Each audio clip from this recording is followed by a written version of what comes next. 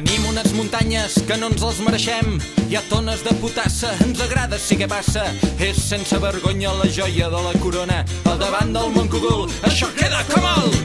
Quanta sal tenim per donar, vendre, llogar? Tots ells de l'Ajuntament han posat el gra de sal. El Manolo, la Mirella i el millor dels convergents. Algú d'aquí ens pot dir què han fet tota aquesta gent? Que salada aquesta gent, aquesta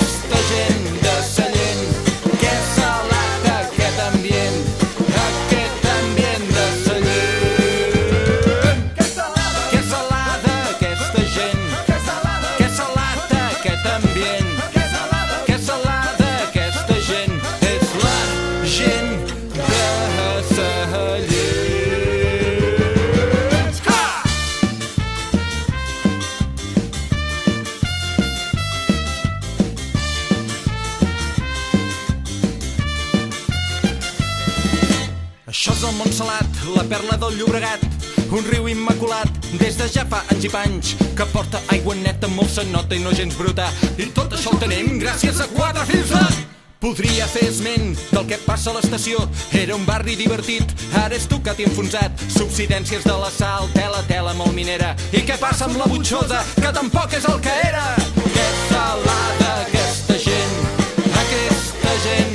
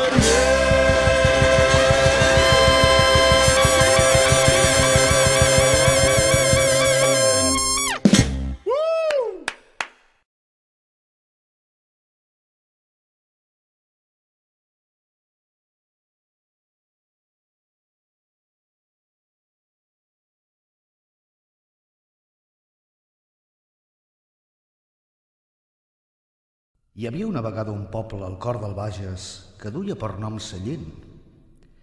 Tenia unes boniques muntanyes de sal que cada dia filtraven al riu Llobregat 150 tones de matèria salina.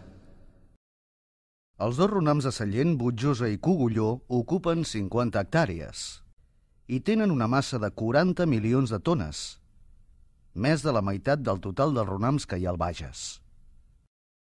L'empresa propietària Iber Potash vol una llicència per ampliar la seva activitat fins al 2037. Si ningú hi posa remei, el ronam del Cogulló passarà de 35 a 120 hectàrees. Si ningú hi posa remei, el ronam del Cogulló tindrà d'aquí a 30 anys 75 milions de tones, 75.000 milions de quilos. Això si no creix el ritme d'abocament actual, 4.000 tones de ronam cada dia.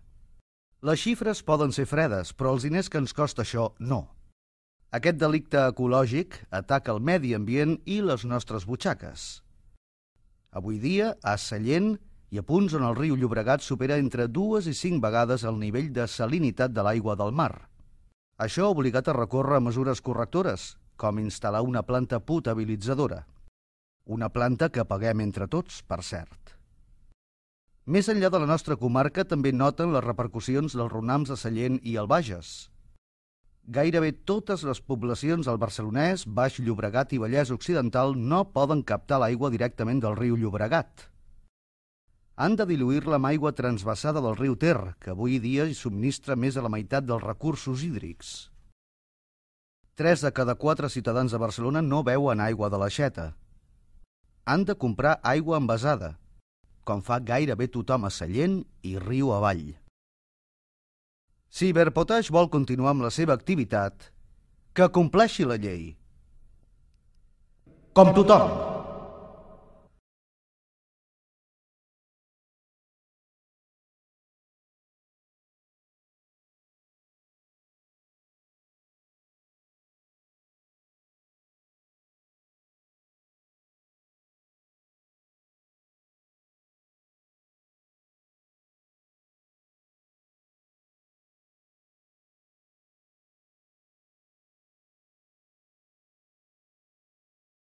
Si Iberpotash vol continuar amb la seva activitat, que compleixi la llei. Com tothom.